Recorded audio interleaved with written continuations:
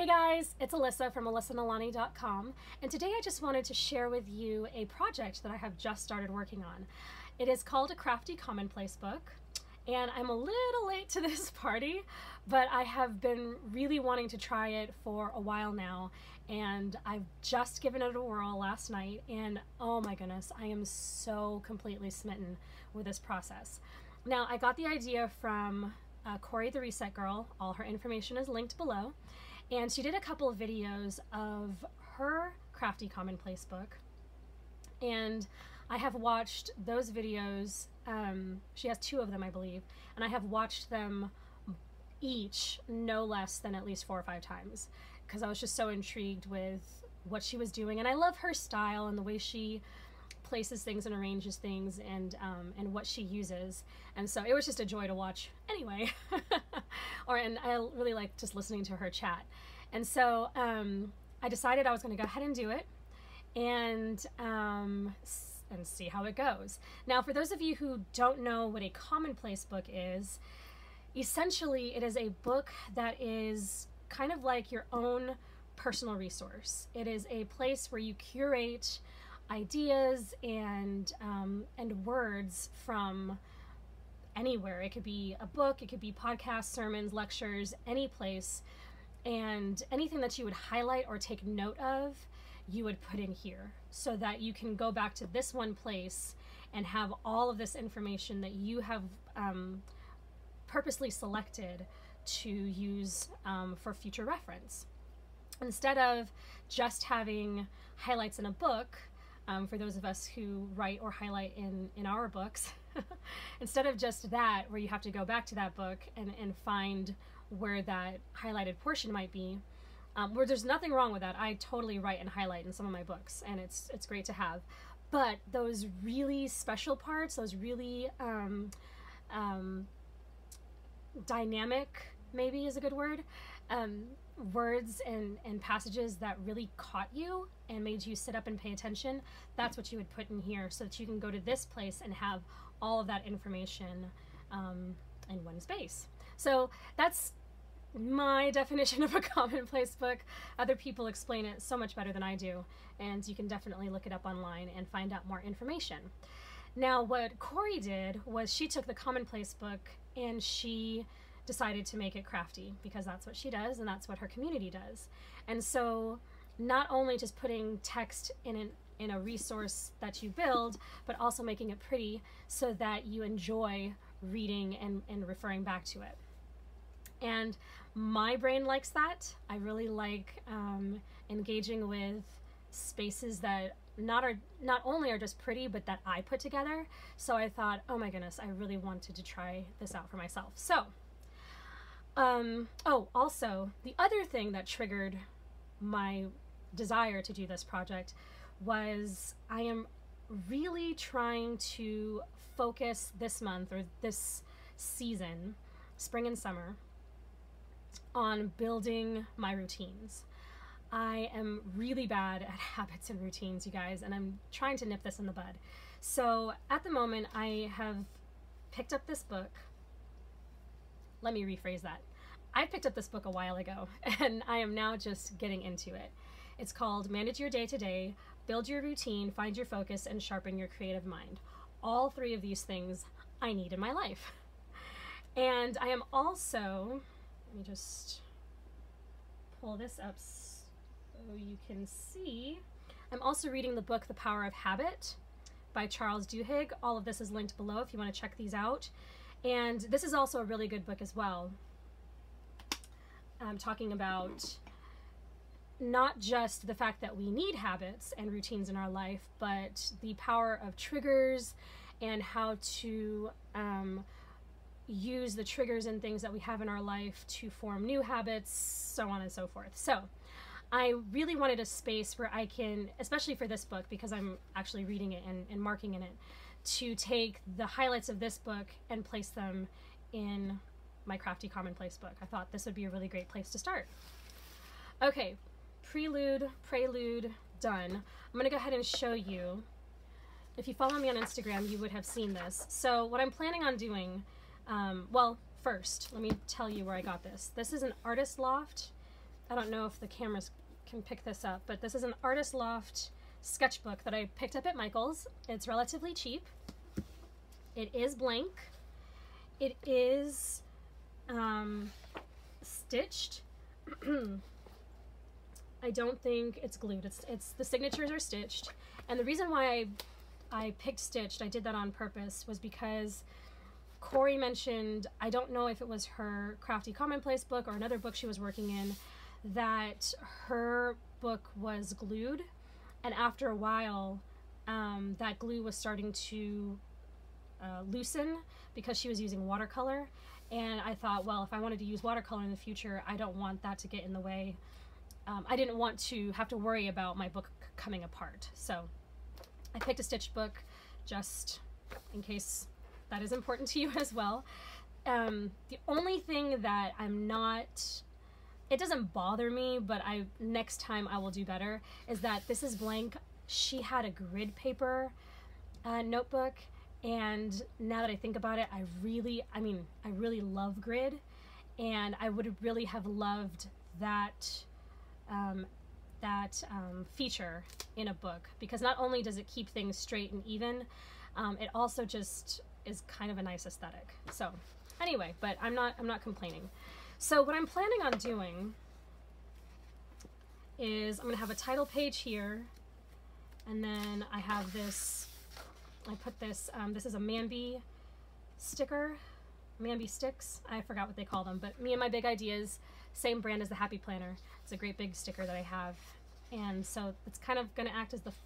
I guess you would call that a flyleaf. And then I have a few pages reserved for an index so I can list out the different um, spreads that I do. And then this is my actual first spread. And this is a spread of the notes that I got from the forward and the preface. So here's the preface, and there were a couple of things that I took from there, and then the forward, I had some things that were underlined that I transferred onto these pages. And see how, like, it's really simple. Like, I didn't do anything spectacular. I certainly don't have the stash that Cori does, um, so I don't have as many things to work with, but I just played with it and afterwards and after I put the um, the text down I was like oh my goodness I could really I could really get into this how many times have I said oh my goodness I sound like a teenager. Anyway, that just occurred to me. Anyway, um, so yeah, so what I'm going to do is I'm going to go ahead and prep a few more pages. I have gotten to the, I've gotten through the first, this book is, is built in articles and um, so the first chapter is just each chapter is a series of articles. So I'm in the first chapter and I've gotten through the first article. I'm in the second article. So I have quite a bit that I can copy down. And I won't have time to prep pages every day. So what I'd like to do is prep a few, um, a number of them, so that on the days where I can't prep pages, I can just go in and write down the text that I'm working with. Okay, so what I'm going to do is I am going to prep some pages with you so you can kind of see how I put how I'm putting this together. Hopefully that'll spark it for you.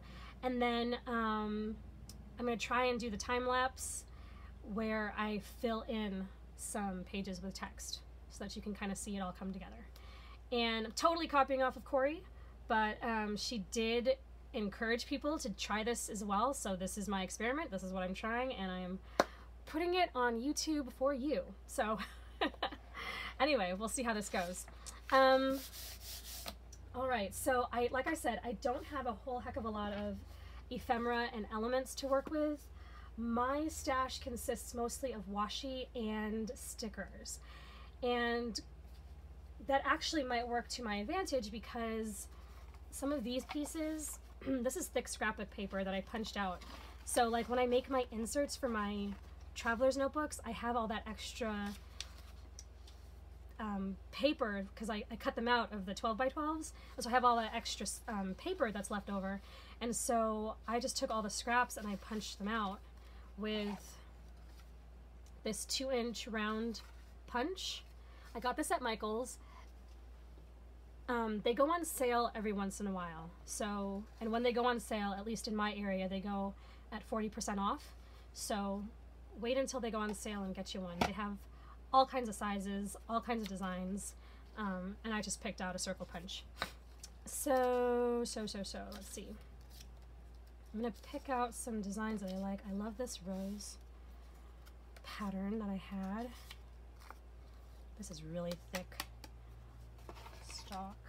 Um, I did use these, and sometimes I'd be like at the end of the, um, not at the end, or I would I would cut too close to the previous circle, and so I have this little scoop in there, but it doesn't matter because you can cover it up with another one. And I have this, this was music notes. I don't know if you can see that. I like those. I'm not going to spend too much time choosing because that'll get to be a bit much. Um, so it's funny because I don't want those either. I was homeschooled uh, from a young age, and one of the things that my mother was very particular about, and I'm glad she was, was the fact that, you know, in the morning we had to get up, make our bed, get dressed, um, you know, eat breakfast, all that morning stuff and um, you know before we did schoolwork. And people would ask us like do you guys do school in your pajamas? And my brother and i would always say no. Like our mom makes us get up and get ready for the morning and or for the day. And i'm really glad she did. And then as i got older um, i don't have as much to choose from y'all that i thought. Anyway as i got older she was less strict on kind of staying on top of my stuff because as I got older, I was able to kind of manage my day myself. And so, in that, I kind of dropped some of those really good habits that she instilled in us uh, at no fault of her own. That was totally me. And so now, while I have a sense of, you know, um, waking up in the morning and getting ready, like I know that's important. There are other habits that of self-discipline that I just for some reason don't have. And so I I can be a royal procrastinator and I carry that all through college. Um, certain I need certain motivations to get me going. And I know I'm not I'm kind of preaching to the choir because we all have those things that just we maybe need a little bit more of a push or um, I like those together. We might need a little bit more of a push in the right direction to kind of get us going. Um, they're just things that we don't necessarily naturally do well, I guess is what I'm trying to say. And I am at a point in my life where I know what I want to do with my time, I know what I need to do with my time, but I do struggle with kind of staying on task and and um, using routines to my advantage, if that makes sense. So now I will say I'm going to give myself a little bit of room here because when I got married, I had to kind of reinvent my days because I became a stay-at-home wife I all of a sudden had all this time on my hands that I didn't have anymore. I was no longer working. I was no longer a student. So I just I had to reinvent what it meant to, you know, what my day-to-day meant. But that was a year ago. and you would think that I would have figured this out, but um, it, I think it's kind of one of those ever changing things and when you don't take the time to kind of sit down and say, okay, here's my life, here's what it consists of, now how am I going to approach it? Um, rather than what a lot of us, I think, often do is we uh, what am I trying to say? We get caught up in what we are doing and we just let that carry us. Does that make sense? So I say that because in the book, Managing Your Day to Day or Manage Your Day to Day, um, it says that we are caught in reactionary workflow. This, I'm going to pause my little spiel here. These are sticker books. They're at Hobby Lobby. I have three of them now. Oh my goodness, these are so delicious. Um, peel off this sticker because I can't see the designer's face. So each book is designed by a different person, and there's a whole collection of them. And I have these three. I'm not sure where the. I don't know if they have like names, but this is Heidi Swapp, this is Paige Evans, and this is Maggie Holmes. And I just, ugh, so, so, so smitten with these, with these books.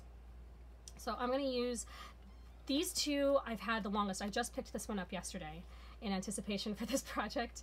And um, these two I use um, mainly right now in my traveler's notebooks and my planners. So if you watched my May setup, you'll see those stickers in there. And then this one is the newest one, and I am just, I haven't even flipped through the whole thing. I just knew I wanted it. It's got these gorgeous little butterflies and flowers. Oh, there's little bunny rabbits. Oh, that kind of matches. I've got that. Um, I cannot remember what that pattern is called. It just left me.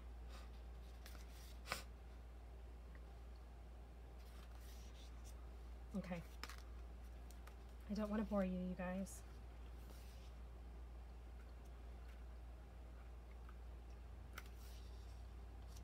I like these black and white roses. Gonna try that. All right, what, would I, what was I saying? Oh yes, yeah, so we tend to work in this reactionary workflow where we just react to everything or we just um, you know we, we take in all that's going on and we say okay i've got to do this i've got to do that and and um, and just react and i don't want to do that I really, really don't want to do that. And um, I want to take this opportunity that I have where I can control my time, because this is the season of life that I'm in, and really take stock of the whys and hows of what I do. Is this gingham? Is that what that is? I know this is very like picnic tablecloth, but I think, I don't know why gingham just sprung up in my head. Anyway, sorry. Woo, squirrel.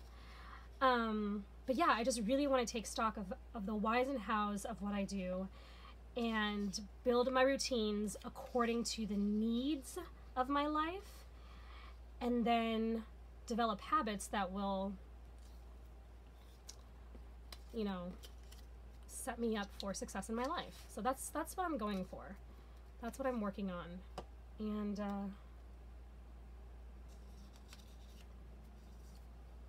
no so that's what we're working on. Um, all right, I'm to stop talking about that because I feel like I'm to talk myself into a corner and not be able to get out. And just start gluing. And the great thing about this is, y'all, this does not take much thought at all. And you can just take what you have in your stash no matter what you have in your stash. See here, I don't know if you can see this, but there's the little cutout. You know how when you buy scrap paper, scrapbooking paper, it has a little hole at the top where the pad may have hung on the display? That's that little hole. And then it has a little um, dotted perforation line where you would cut it. And I knew that I would probably just cover it up. So I went ahead and made that circle in anyway. I wonder if I want to put some of these in the center. By golly, I think I do. Because as you can see, I did here. I thought it looked really good. Okay, like I said, this doesn't take much thought, and here I am probably overthinking this a bit. And you can use whatever you have in your stash, whatever scrapbooking um, paper you have, whatever scraps that you may have, because I know a lot of us keep scraps. Stickers, like I said, I only, I really only collect stickers and washi. That's what my stash is largely comprised of. Stickers and washi. I'm just going to score that a little bit. And I'm actually going to cut this.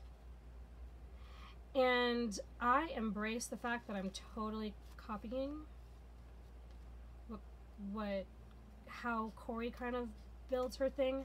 Now she does kind of follow a process where she puts, you know, she groups things in kind of a certain way, and she um, tries to have different elements in different places on her spread.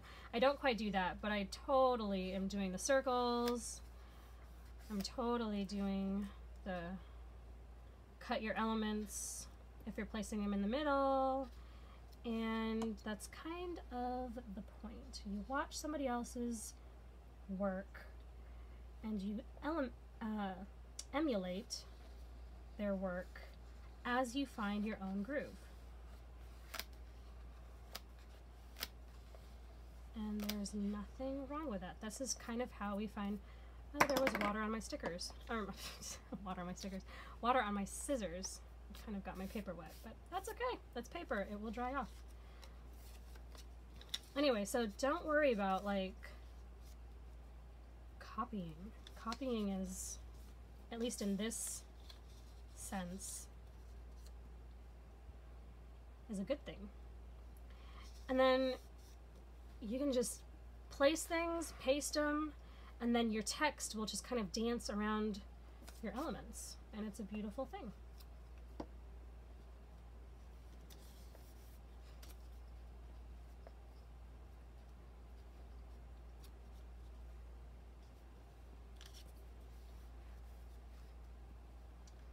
And oh, string, a string of glue.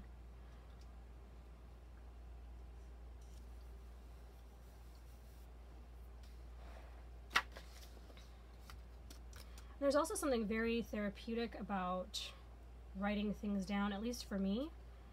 I love writing things down. In school, I was, especially in college, because I had to, I was a good note taker. And even in high school, I was a good note taker. And that act of writing things down is really good for our brain. It helps us engage with the material better and um,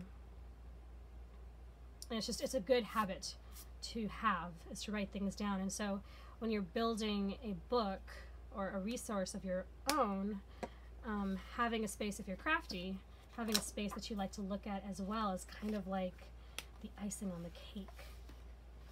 Oh i love these flowers. Aren't these beautiful? Oh my goodness. Oh my goodness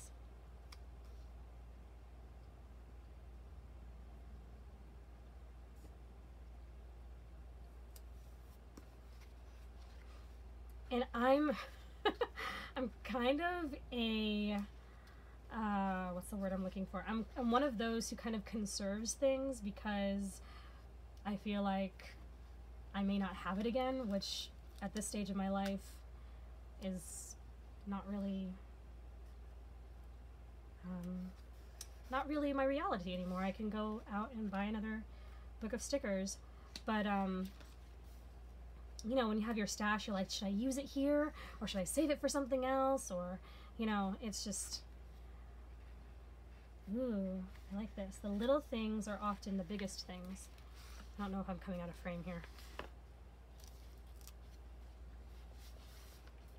So where do I want to put this?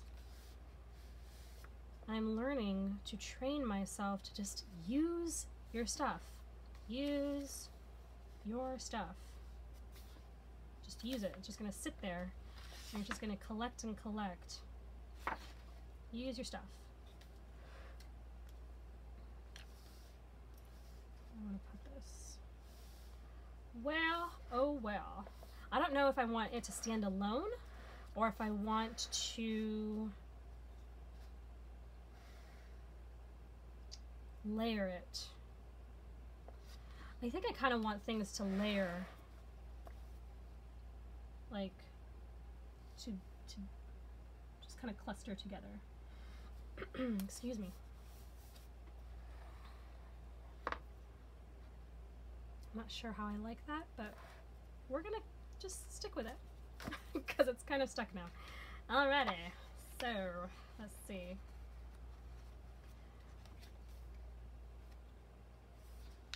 You know, the more that I talk, the more that I might just make crazy noises. Like the ones I just made. Like I heard myself back and I was thinking, what in the world was that, dude? What was that? Oh, they're just so darling. So darling. Okay, I think I'm gonna leave this like this. Okay, the other one was really simple. Oh, the other thing I did add is, I don't know if you can see it. Let me see. Yes, you can. Um, I've got this little pink going on here. I just took a Tombow brush pen, my Tombows, and added a little bit of color. So, let's see what I can do. Got greens and yellows, maybe some yellow? Maybe. Let's test this out somewhere. Do I have, oh, ha ha ha. No one will ever know. Ooh, I like that. Let's try that. Let us try that. And so all I did, literally, is just took my pen, my brush pen, and laid down some color.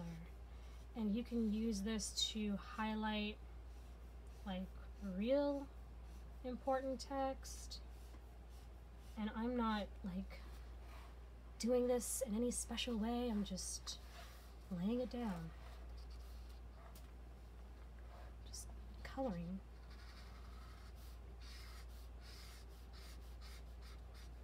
Just to add another dimension to the spread. And like so many things, less is more.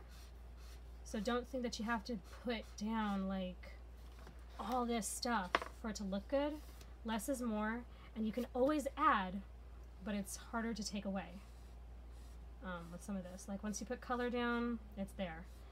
Um, once you glue certain things down, depending on what kind of glue you're using, it's there. so less is more. You can always add. And once you add the text, it'll be quite a full page. So you don't have to worry about laying down a hundred different elements. You can just keep it simple and keep it pushing. Okay, so I'm gonna work on a few more of these. I'm gonna speed this up and then I'll come back and um, do a little bit more chit chat before I put some words down. Okay? Oh, you know what? I totally forgot that I can use washi tape. So I was focusing so much on my little circles there. I have washi to use. So let's see what I've got here. I've got quite a collection of washi. Um, it's not quite as big as some collections that I've seen, but it is steadily growing. So I have, um, let's see if I can fit this. So I have four of these trays that are all filled up. They sit in a um, in a case that is too big for this for the screen. And then I have this craft stack. Let's see if I can bring this in. I have this craft stack full of washi. Anyway, so I have lots to choose from. Let's see what I can find.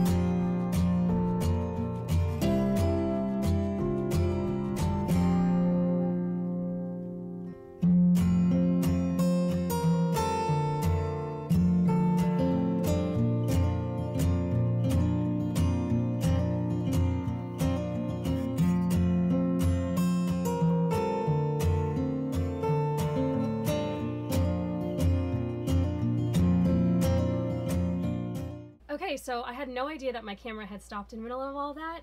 Um, I had already finished, as you can see, I have finished this spread.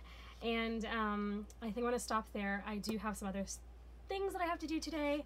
And so I can't, as much as I would love to still um, continue this, I cannot.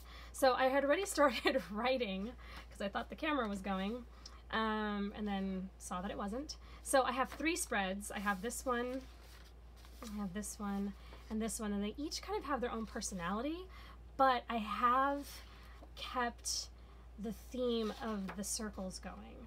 So these are all kind of the same circles, um, you know, of the ones that I pulled, obviously.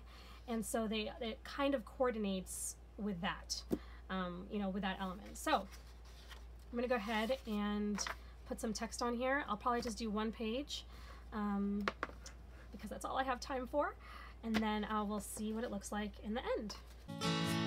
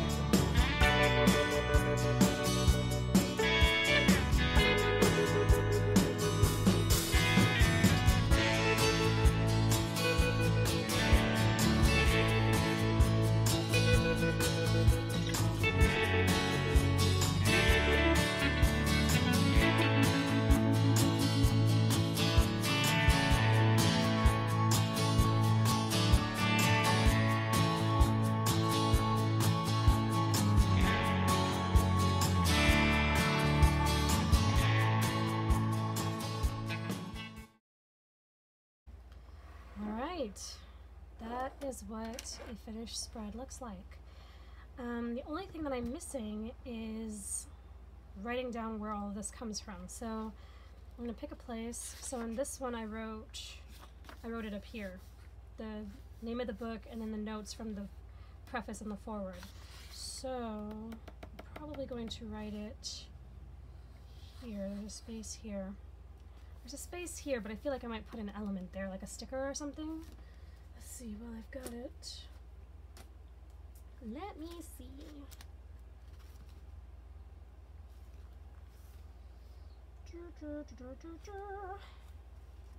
Let's try this one. Okay. Yeah. Mm. I don't like it.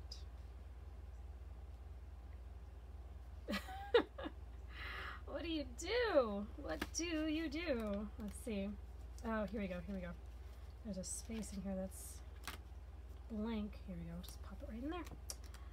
Uh, let's try again. Let's try again.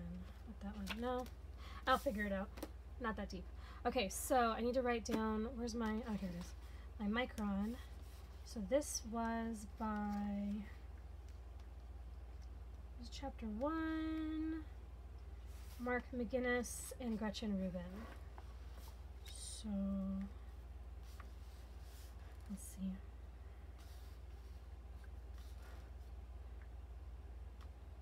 I think I'll write it on the element, so chapter one.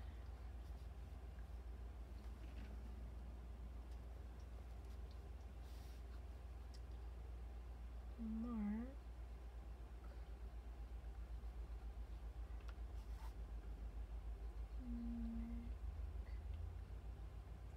So fit his whole name in here.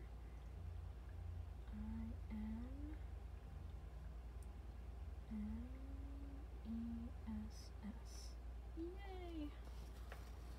And then over here we have chapter one. Ah! Always, not always, but often I accidentally turn P's into R's. Okay, and this was Gretchen. I'm gonna misspell Gretchen. I don't know why. Yep, Gret. I always think that there's an I in her name, in her first name. There's an I in her last name. Mm. There we go. Okie dokie. So that was the two articles, the first two articles in chapter one. And this was cool because um, there were bullet points in both of them. So this was building blocks of a great daily routine, and so one through five. And then she and then Gretchen Rubin talked about frequency in your work, and there are different bullet points here. And as you can see, like I messed up in here. I wrote the word sparks again from this previous bullet point, and it was supposed to be nurtures. And I messed it up twice because the first time I whited it out, I was writing the word nurtures, but I was writing it in cursive because I had just written this in cursive. And so I had to white it out twice. So, like, if you mess up, like, don't worry about it. The other thing, too, that I'll just point out real quick is um, the fact that, ooh, can one of these go in here? It might be too big and it might be too close to this, but let's try it. Let's do it. There we go. Okay. Um, what was I saying? Oh, what was I saying? Let's pop this one in here too for good measure. Oh, good grief, what was I saying? Oh, yes, okay. So I don't write, like, I don't go through the text and then write, you know, from starting, you know, on the left and then working my way down and then starting at the right and working my way down. I pick, like, I'll look at the quote or whatever I've highlighted and find the spaces that will accommodate that piece of text. Does that make sense? So, um, like I wrote this right here, that's all one piece. And then instead of continuing down the page, I wrote the next part up here because there was this white space because this was all on the yellow. And then, you know, kind of worked my way around the page. So I don't just write everything all the way down the way I would if I was just writing on a lined notebook or something. Um, so that's something else to keep in mind. And then I change out my the way I write it. So here I've got this thick, all caps, and this is a Fa- uh, Faber-Castell Artist pen in B, case you're wondering. And then here I've got cursive, and then up here I've got all lowercase, and then over here I'm just writing in my regular, you know, proper uppercase, lowercase. Then here I've got all uppercase, and then here I've got cursive. So I change it up just to um, add definition and to draw your eyes to the different spaces. I'm creating spaces, not just, you know, writing the text the, all the same way. So, anyway, that's what I have so far. And I'm really liking this. I cannot wait to fill the next spaces. So, I have got two more here prepped and ready to go for when I have got time to continue in this book. So, this is my crafty commonplace book, you guys. And um, like I said, I will have um, I have everything linked below. I was going to say something else, but it just left me. Anyway, I have everything linked below. Anything that I have found online, including the books, where you can check those out if you are interested. Um, it's Manage Your Day-to-Day, Build Your Routine, Find Your Focus, and Sharpen Your Creative Mind. There's actually a collection of these books. I'll have all of them linked um, so you can check them all out um, and take a look at them. And then I'll probably do some kind of update or a continuation in this book just to kind of show you. I love looking at the process videos of things like this because then it kind of gives me ideas of ways to do it myself. So I hope this was enjoyable and I will talk to y'all in the next video. Hope y'all have a great rest of the day. Bye!